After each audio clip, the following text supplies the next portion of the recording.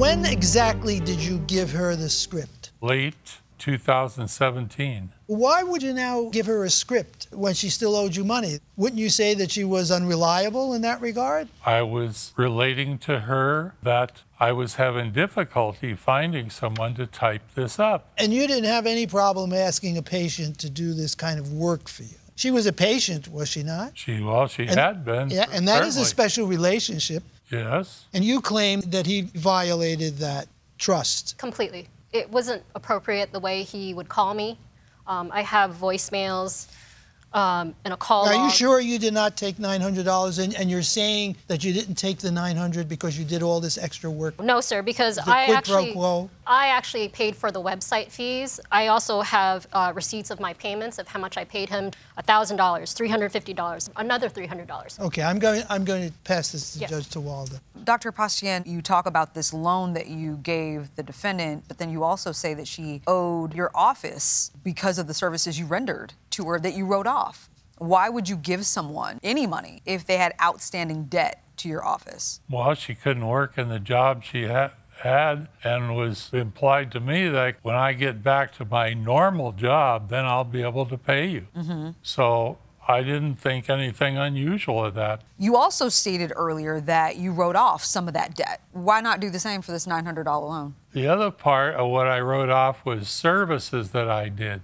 It wasn't money out of my pocket. The $900 was, in fact, $900. Okay. After I had all these other issues, including a heart attack at one point, which I spent almost three weeks in the hospital for, I had at least temporary memory loss during that time, in addition to the car accident concussion. In terms of your relationship with your clients and that being of a friendly nature, do you think it's normal for you to ask a patient out to dinner repeatedly? Is Oh, that we something went that's out once, and that was in conjunction with the manuscript. But how many times have you asked her to go to dinner? I really don't know. So let's go ahead and play that audio that the defendant provided of you asking her out to dinner.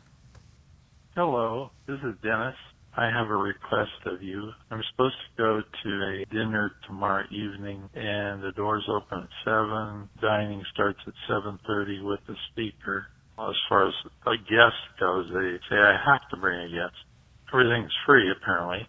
So if it's okay with you, if you're available, would you give me a call back and let me know Christina, this is Dr. P. I was just looking through things for veterans and I found that at McCormick and Schmick's on Rosecrans, they have a deal for veterans. So if you wanted to take me out for dinner, that'd be a real perk for you because I'd be free.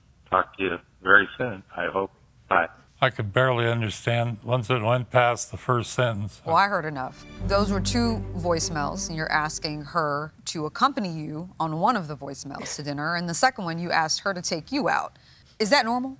I don't know what's normal. I mean, you, what your You normal know what? is is Li- not the listen, same listen, normal we're that not- mine I- is. I'm not going to beat around the bush here. It's not normal. You were doing some really weird things. It's just a line that was crossed that should not have been crossed. well, Let me hear from point you. in time? When was that? That wasn't I, like I don't the care when first- it was. It happened. Now, I need you to tell me, Miss Yoon, how often were these calls happening? Oh my gosh, he would call me three or four days in a row, be asking me, "Where are you at? What's going on?" And I would have to call it back and say, "Hey, I'm working. I work really long hours. I can't talk." And I would just have to calm him down. There's even an audio saying he's going to file a missing persons report on me because I wasn't calling him back. Let's hear that.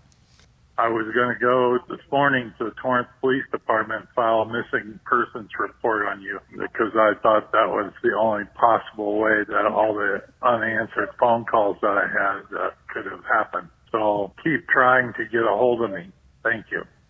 Mr. Postan, did you actually file a missing persons report? No,